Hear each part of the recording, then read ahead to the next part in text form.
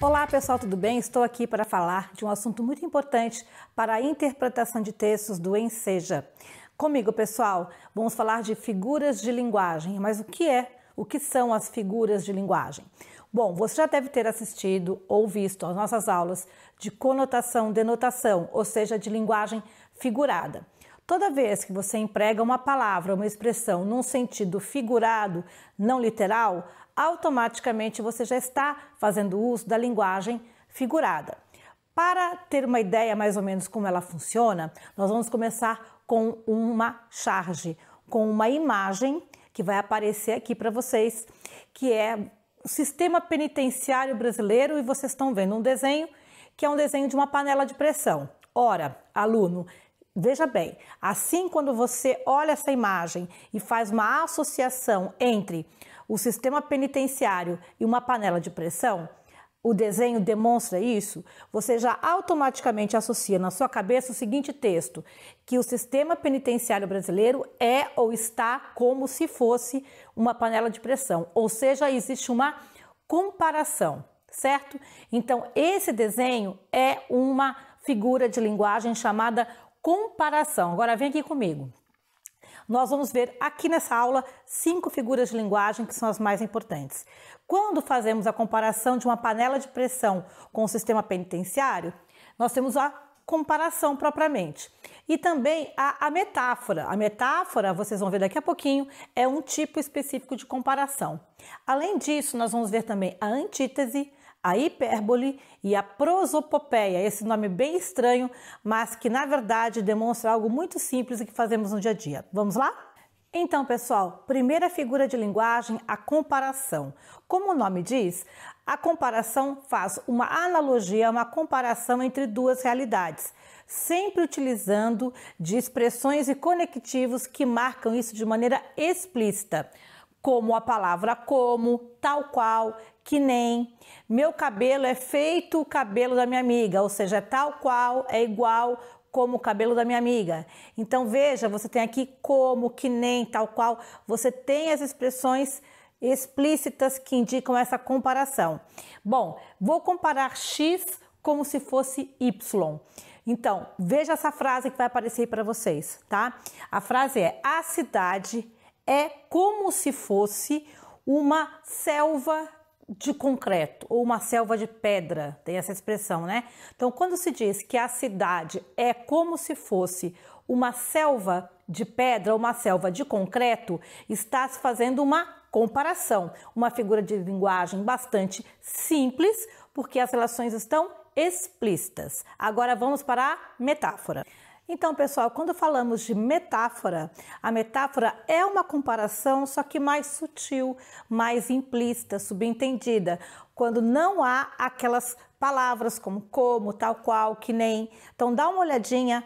Você se lembra da frase que a cidade é como se fosse uma selva de concreto? E se de repente eu já falar assim, a cidade é uma selva de concreto? Ou a selva de concreto é o lugar onde eu moro. Se eu digo assim que eu moro numa selva de concreto, ou se eu digo que a cidade é uma selva de concreto, como vocês estão vendo aí na, no exemplo, isso quer dizer o quê? Que eu estou fazendo essa comparação da cidade com a selva de forma mais sutil, tá? Sem o conectivo. Então, toda metáfora é uma relação de analogia.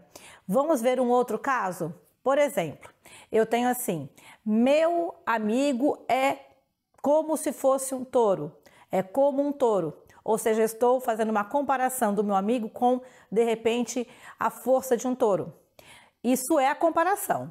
Mas aí, quando eu falo meu amigo é um touro, eu já tenho uma metáfora, ou seja, é só uma questão de abstração.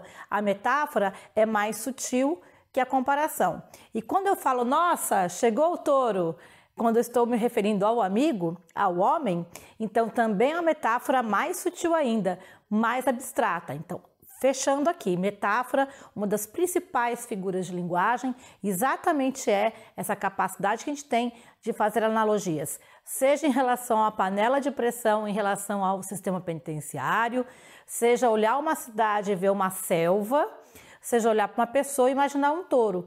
Então, a relação de uma pessoa com um touro, de cidade com selva e de sistema penitenciário com uma panela de pressão, tudo isso passa da comparação para uma metáfora, ok? Agora nós vamos ver a próxima figura de linguagem, que é a antítese. Então, pessoal, a antítese tá, é uma figura de linguagem muito também tranquila se você pensar na base dela, que é lidar com situações opostas. Deixa eu dar um exemplo muito simples, meu.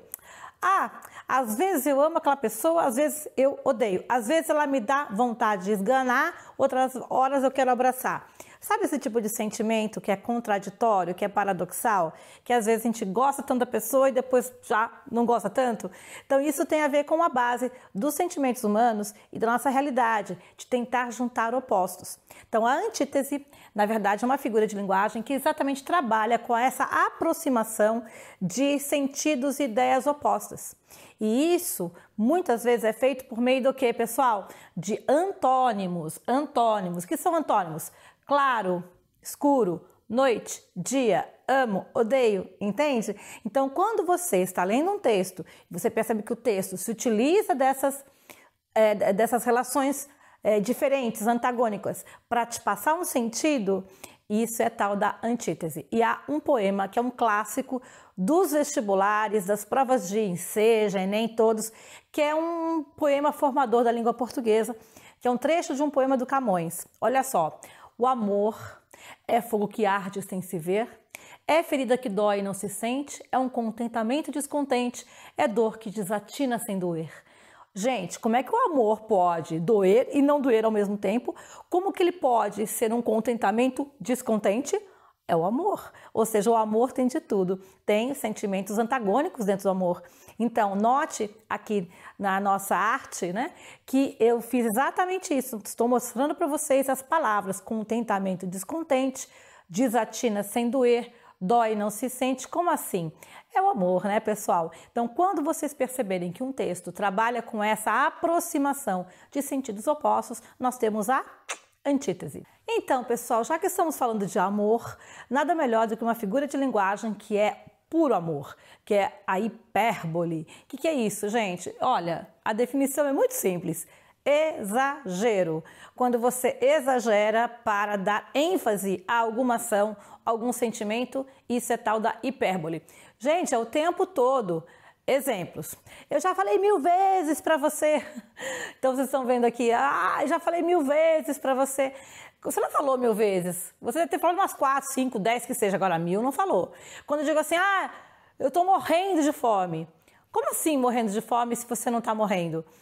Ah, dá uma olhadinha agora no slide, vai aparecer que é um quadrinho que tira um sarro disso, que lida com essa hipérbole. Ah, se a pessoa está morrendo de fome, você já morreu, então não está mais com fome, diz o slide, diz o quadrinho. Então veja, a hipérbole ela traz um riso, ela traz uma brincadeira, ela traz um exagero. E por que, que eu falei da linguagem amorosa? É porque a linguagem amorosa é extremamente cheia de exageros, né?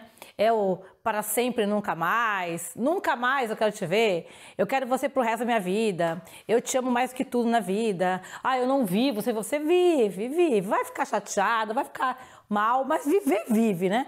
Então o que acontece? É, é, é um clássico, né? Você pega as letras de música, às vezes são as letras de música assim que meu Deus, né?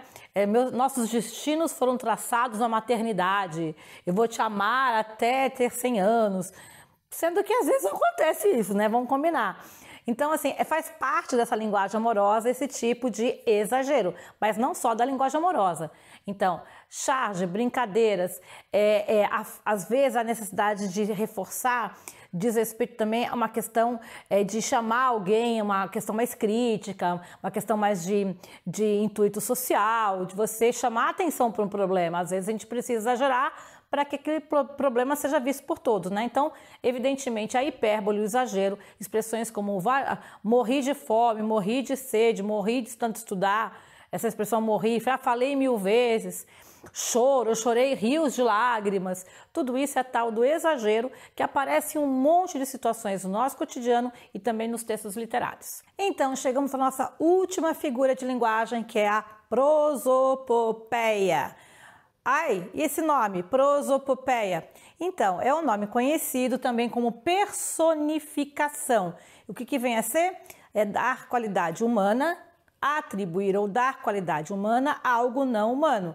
Pode ser um animal, pode ser algo inanimado, como um abajur, como uma casa, tá? E nós estamos cercados disso. Se você pensar bem, todas é, as histórias em quadrinho que tem personagens que não são humanos, né? Imaginem vocês uma esponja que usa cueca e mora no fundo do mar. Né, o Bob Esponja. Então, há uma prosopopeia envolvida, há uma personificação. Então, todos os desenhos que envolvem, ah, seja uma xícara conversando com um bully, entendeu? Então, vocês têm, por exemplo, no que vocês estão vendo agora, é uma charge da prova do Enseja. É a questão, acho que é a questão 1 da prova de 2017 ou 18, se não me engano tá? E vocês têm lá nos exercícios a questão relacionada a essa charge. Se você verificar, os mosquitos estão muito bem, obrigado, confortáveis assistindo TV na sala do cidadão, que deve ser o dono da casa, coitado, né? Tá ali meio, meio chateado, incomodado.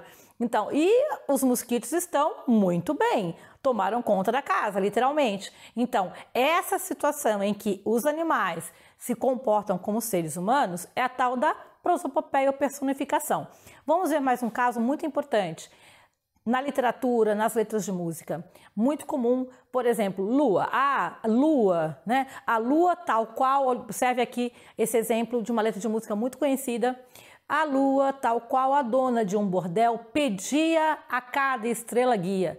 A lua pedir algo, isso não é algo que ocorra normalmente. Isso com certeza é uma aspas viagem planejada, no sentido de uma prosopopeia, você está dando uma qualidade humana, que é o ato de pedir, em relação à lua. Então, neste poema, inclusive, letra de música, vocês estão vendo já aí que o fato de a lua pedir é uma prosopopeia personificação. Mas também há uma comparação, né? Que nós vimos a nossa primeira figura de linguagem, porque a lua, tal qual a dona de um bordel. Então, está comparando a lua com a dona de um bordel.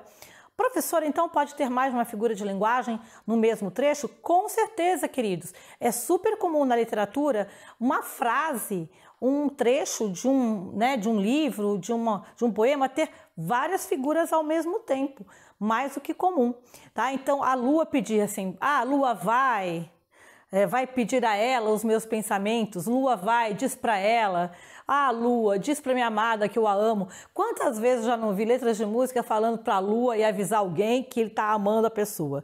Isso é um clássico. Então não é só a Lua, óbvio, né? Com, é, a, o cigarro conversa com o cinzeiro, né? Os três porquinhos conversando lá na, na, fábula, etc. As fábulas, as lendas estão cheias desses personagens. Então chamamos isso de prosopopeia e dá um colorido incrível ao texto. Na charge que vimos dos mosquitos, evidentemente há um humor e a crítica. E é para isso que o Enem, que o Enseja, que os vestibulares e todas as provas que peçam interpretação de texto adoram as figuras de linguagem que vimos. Espero que eu tenha contribuído. Vai lá, dá uma lida na teoria, que vai dar mais exemplos para vocês. Faça exercícios que aí você vai gabaritar no Enseja, eu tenho certeza disso. Até mais!